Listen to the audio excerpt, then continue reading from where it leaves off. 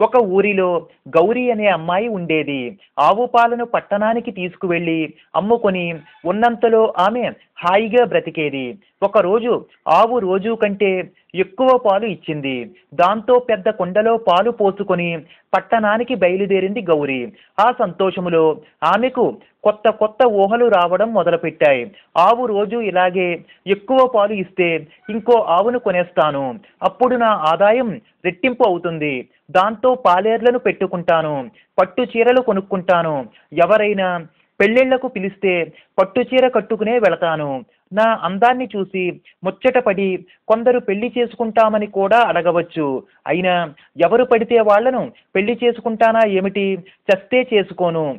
చేసుకోపోయేవాడు నాకంటే అందముగా ఉండాలి. బాగా సంపాదించాలి. ఈలోగా ఎవరైనా నన్ను పెళ్ళికి ఒప్పించడానికి ప్రయత్నించినా అస్సలు ఒప్పుకోను అంటూ తలను అడ్డముగా ఆడించింది. అనుకోకుండా అలా తలను తిప్పేసరికి నెత్తి మీద ఉన్న పాలకుండ కాస్త క్రింద పడి పగిలిపోయి పాలన్నీ నేలపాలయ్యాయి.